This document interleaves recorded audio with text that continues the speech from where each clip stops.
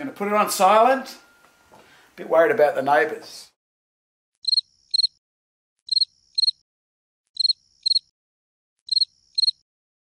Wartime does it better.